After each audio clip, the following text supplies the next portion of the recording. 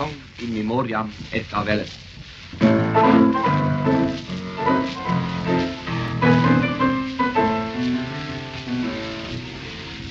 Ganz Scotland Yard lässt Halbmast wehen. Was ist in Scotland Yard geschehen?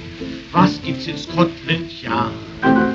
Ach, man brauchte Edgar Wallace, doch zur Klärung jedes Falles. In Verzweiflung hockt jetzt alles da in Scotland Yard. In Scotland Yard. Es ist unmöglich, von Edgar Wallace nicht gefesselt zu sein.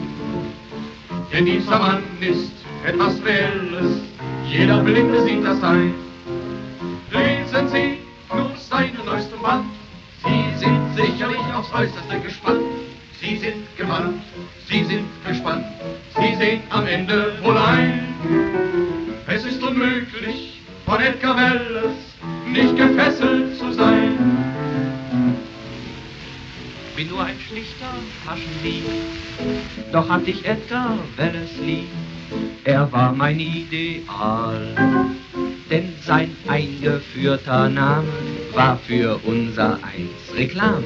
Unvergesslich bleibt sein Name ein für alle Mal. Für alle Mal. Es ist unmöglich, von Edgar Wallace Nicht gefesselt zu sein.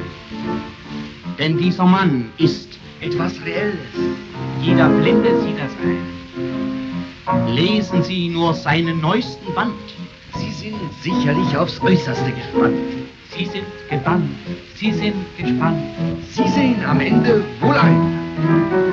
Es ist unmöglich, von Edgar Wallace nicht gefesselt zu sein. Das sind die Bücher, die man liest, weil man es gar zu gern genießt, wenn anderen was passiert.